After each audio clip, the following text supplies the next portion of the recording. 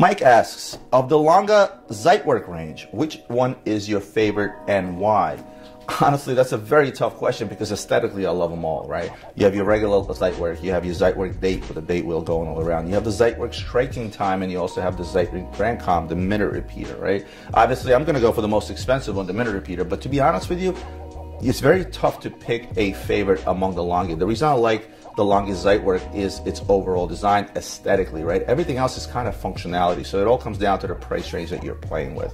If you like the Lange Zeitwerk and the plain Zeitwerk is in your price range, or maybe the minute repeater is in your price range, that's the one that you go with. But aesthetically, if you look at any single one of them, there's really no difference. The only thing I can tell you is maybe a metal. I would most likely go with the Zeitwerk Rose Gold striking time because aesthetically to me that piece is absolutely gorgeous and that would be my favorite.